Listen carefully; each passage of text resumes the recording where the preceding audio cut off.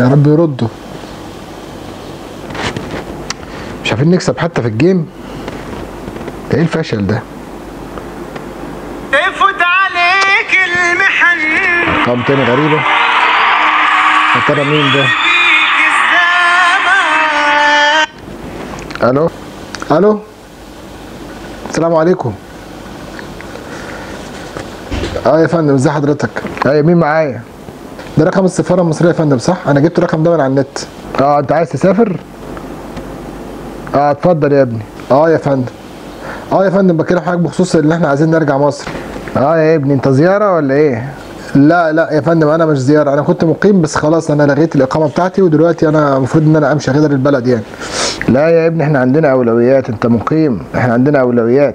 لا يا فندم أولوية. خليني أشرح لك يا فندم بس خليني أشرح لك. مفيش حاجة اسمها أولوية يا فندم. في أنا أنا راجل أنا دلوقتي مصري. وعايز ارجع باولويه إيه؟ يا ابني بقول لك الزيارة هو الاولى انت راجل مقيم عندك فلوس. أيوه يا فندم هو الزيارة دون كان جايب بتأشيرة مدتها 3 شهور وخلصت. وعايز أروح لأن فلوسه خلصت. وأنا واحد كنت قاعد لمدة 3 شهور 6 شهور سنة سنتين برضه خلصت الحاجة بتاعتي وعايز ارجع. فاحنا الاثنين عايزين نرجع وإحنا الاثنين معناش فلوس يا فندم. يا ابني إحنا عارفين شغلنا كويس يا ابني. إحنا عارفين شغلنا كويس. يا فندم أي حد مواطن مصري يحق له يرجع يا فندم. ده قانون يا فندم ودستور. إحنا نقول مين يرجع ومين ما يرجعش يا ابني. إحنا عارفين شغلنا. هو انت مش واخد بالك يا ابني ان إحنا عندنا أزمة؟ على عيني وراسي يا فندم في أزمة وفي كل حاجة. أنا بكلم حضرتك وفاهم والله. وما عنديش مشكلة خالص إحنا ما قلناكش يعني ادفع لنا فلوس أو كده إحنا ندفع تذكره الطيران تذكرة الطيران؟ غالية يا ابني. هل معاك تذكرة طيران؟ تقدر تسافر؟ يعني في الأيام العادية تذكرة الطيران بتبقى رخيصة واصلا الطيارة بتبقى فاضية. يعني الطيارة بتبقى فيها نص أو 75% منها. دلوقتي ليه أربع أضعاف يا فندم؟ إحنا مش ساكتين يا ابني. يا فندم حتى لو ضعف يعني عشان نقول رايح جاي لو ضعف السعر ما فيش مشكلة. إحنا ما عندناش مشكلة. لكن الأسعار وصلت لأربع أضعاف يا فندم. وبعدين أصلا ما فيش طيران. يا ابني اطمن الدولة مش ساكتة يا ابني. إحنا ان شاء الله نخلص لك الموضوع ده في أقرب فرصة إن شاء الله.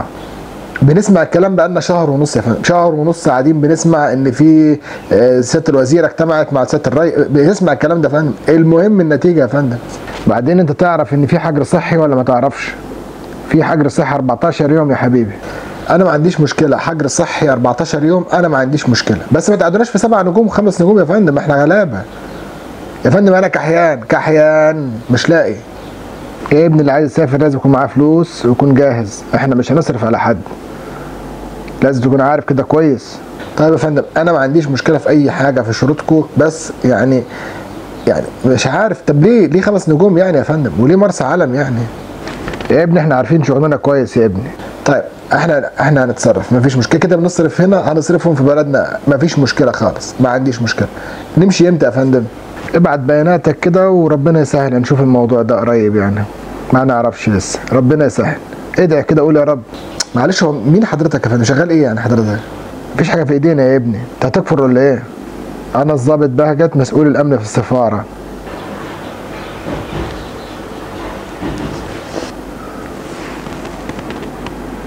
إيه الناس دي؟ ادي اخرة خدمة المصريين. حسبنا الله ونعم الوكيل.